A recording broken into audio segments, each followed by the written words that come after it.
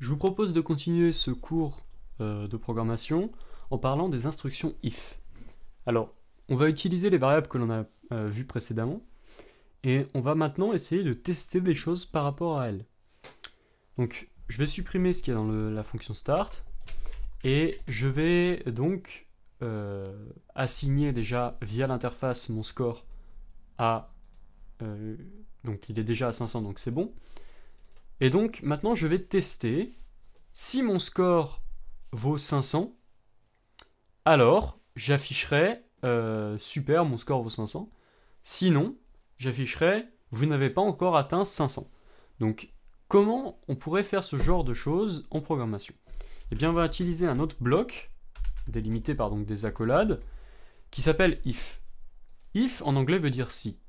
Et dans les, dans les parenthèses après le if, on va mettre la condition que l'on veut tester. Et la condition que l'on veut tester, en l'occurrence, c'est si la variable score, donc le contenu de la variable score, est supérieur ou égal à 500, ou inférieur à 500.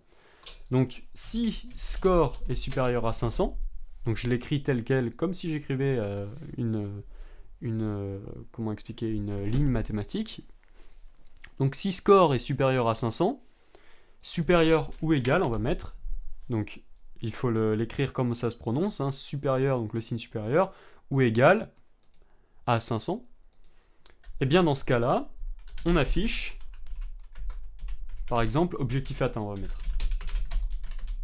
Donc là, si le score est supérieur ou égal à 500, eh bien on écrit objectif atteint.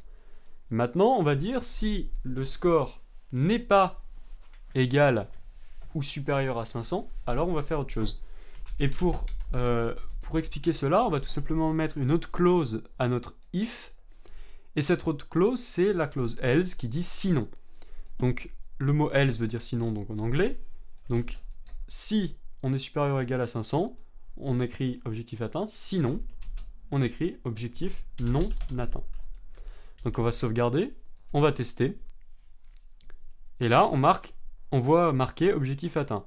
Pourquoi? Parce que notre variable score est bien définie à 500 ou plus.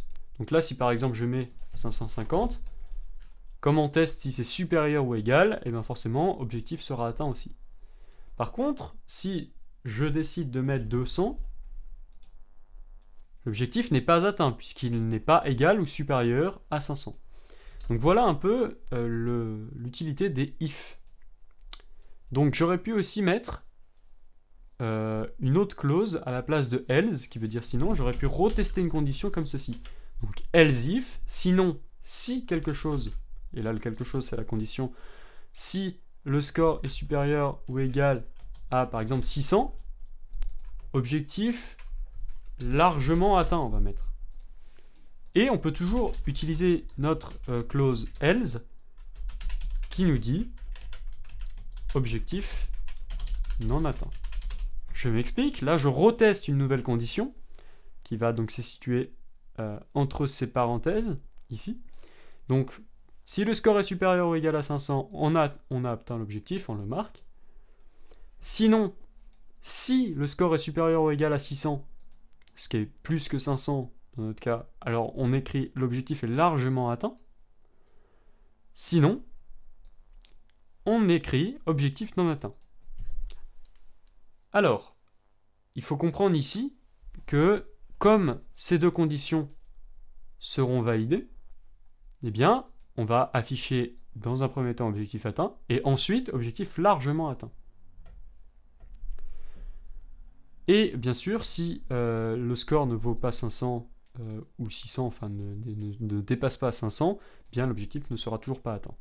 Donc je vais sauvegarder, pomme S ou CTRL S Windows, je teste, donc là, ma variable vaut 200, objectif non atteint. J'arrête le jeu, je vais mettre 500, je lis, objectif atteint. Maintenant, je vais mettre 800 euh, par contre, par exemple. Je teste. Donc ça me met objectif atteint. Et en fait, normalement, alors je vais ouvrir ma console. Donc ça me met juste objectif atteint, alors on va essayer de comprendre pourquoi. Euh, ça me met juste objectif atteint puisque une fois que euh, une condition a été vérifiée, donc là la condition a été vérifiée, score supérieur à 500, eh bien ça m'a affiché euh, ce qu'il doit afficher et c'est sorti de, du bloc if else if else. C'est-à-dire que c'est sorti de ce code, donc on s'est retrouvé là. Donc pour tester si le score est supérieur à 600, il faudrait refaire une condition comme ceci. Et là, ça nous afficherait objectif atteint et objectif largement atteint. Donc on teste, on sauvegarde le script. Donc là, on devrait obtenir objectif largement atteint ainsi que objectif atteint, puisque ça vaut plus que 500, mais ça vaut aussi plus que 600. Donc j'espère que vous comprenez la logique des if, else if, else, qui sont donc une imbrication de tests de conditions. Maintenant, admettons que l'on veuille tester si le personnage a un score qui vaut, par exemple, qui est supérieur à 800 et qu'il est armé. C'est-à-dire que la variable est armée est vraie. Donc on va faire un test. If score est supérieur à 500, on va juste faire comme ceci. Alors on affiche print euh, test vérifié. Donc là on sait que ça va fonctionner puisque euh, score vaut 800, donc le test est forcément vérifié. Maintenant, la pure logique quand on ne connaît, pas la solution euh, pratique, ce serait de retester à l'intérieur du if, de mettre si est armé est égal à true, alors on affiche cela. Donc là, c'est la, solution logique quand on ne connaît pas la solution courte que je vais exprimer dans quelques instants. Bon, là, je vais mettre euh, notre variable à true pour rentrer dans le test. Donc je teste, et là, test vérifié, bien évidemment. Mais la manière la plus simple d'écrire ce que l'on vient de faire, ce serait de combiner dans la condition ici plusieurs conditions. C'est-à-dire dans les parenthèses, plusieurs conditions. Donc je vais écrire un double euh, et commercial pour tester une nouvelle condition. Donc tout ce que je vais écrire après le double et euh, commercial, c'est une nouvelle condition. Et il faut que, les deux conditions que je vais écrire, que, que score soit supérieur à 500 et la nouvelle condition que je vais écrire, soient toutes les deux validées. C'est-à-dire que là, est armé est égal à true. Alors je vais vous expliquer dans quelques instants pourquoi j'ai mis un double égal. Donc je teste, je sauvegarde. Là, le test est vérifié. Donc on se retrouve vraiment avec la même chose que tout à l'heure. Donc après le et commercial, je crée une nouvelle condition qui vérifie si est armé est vrai. Mais pour que, pour que le, bloc ici soit exécuté, c'est-à-dire que print test vérifié soit exécuté, il faut que l'ensemble de ces deux conditions, c'est-à-dire que le score soit supérieur à 500 et est armé égale vrai, soit validé. C'est-à-dire que les deux conditions soient validées. C'est pas une est validée ou l'autre est validée. Pour marquer une est validée ou l'autre est validée, on aurait écrit euh, on aurait écrit euh, avec des pipes, c'est-à-dire euh, alors le raccourci clavier c'est Alt Shift sur Mac, je ne connais pas sous Windows, s'appelle un pipe, vous cherchez sur Internet. Donc on mettrait deux pipes comme ceci, pour dire soit le score vaut est supérieur à 500, soit est armé égal vrai, alors on affiche ça.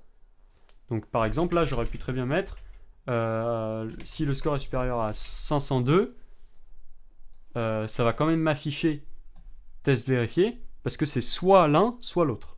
Et là, comme est armé est positionné bien effectivement à true, et eh bien ça teste la condition quand même. Moi je vais revenir à mes et, à mon double et. Si je teste, vous allez voir que euh, le test est vérifié effectivement puisque ma variable est égale à 800. Et si je la mets à 500 par exemple, ma variable, ça m'affiche rien parce que le test n'est pas vérifié. En effet, on demande que ça soit aussi supérieur à 500 et qu'il soit armé. Malgré qu'il soit armé dans ce cas-là, ça ne marche pas au niveau du test. Donc ce qu'on va faire maintenant, je vais mettre 400 pour pas être embêté. Ce qu'on va faire maintenant, euh, donc ce que je vais faire, c'est que je vais vous expliquer pourquoi j'ai mis double égal. Alors vous avez remarqué que quand on a déclaré une variable et qu'on a affecté un, contenu à la variable directement via le code, on a marqué qu'un seul égal. Donc il faut retenir que le égal est le, le signe de l'affectation. C'est-à-dire qu'on affecte un contenu à quelque chose, donc à une variable. Et le double égal, quand on écrit une condition, veut tout simplement dire que l'on teste l'égalité. Donc il y a plusieurs opérateurs de, conditions. Donc nous on a vu le supérieur, supérieur ou égal, égal égal, c'est-à-dire qui teste l'égalité.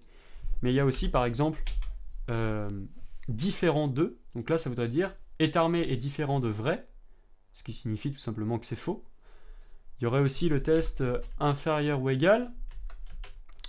Euh, supérieur ou égal, on l'a déjà vu. Inférieur, supérieur, égal, égal. Égal. Donc voilà, donc là, on a vu à peu près, globalement, tous les opérateurs euh, utiles pour faire des conditions. Mais là, j'ai marqué est armé égale true. Il y a encore un raccourci. Le raccourci, ça serait de dire tout simplement est armé. Donc est armé, sans mettre égal égal, ça sous-entend que la valeur de cette booléenne, de cette variable de type booléenne, est vraie. Si on avait voulu mettre le raccourci pour false, donc le raccourci euh, d'écriture, on aurait mis un point d'exclamation devant. Donc là, ça voudrait dire si est armé égale false. Donc on peut le tester. Donc si le score est supérieur à 400 et qu'il n'est pas armé, alors appliquer test vérifié. Donc on teste, vous voyez que le test est bien vérifié.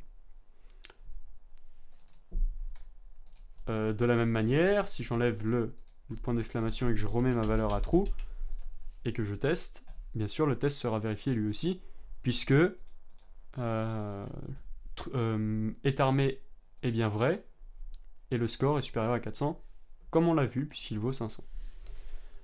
Donc, on a vu là encore beaucoup de notions, c'est des notions très importantes aussi pour créer de la, la sémantique dans un jeu, enfin créer des interactions, on se sert souvent de if, voire même tout le temps dans un programme. Donc je vous recommande vivement de revoir euh, cette vidéo si vous n'avez pas bien compris comment ça fonctionnait, ou alors encore de me poser des questions sur des sur le, sur les, en commentaire de la vidéo si vous avez des questions bien précises. Merci d'avoir vu cette vidéo et je vous dis à bientôt dans la prochaine.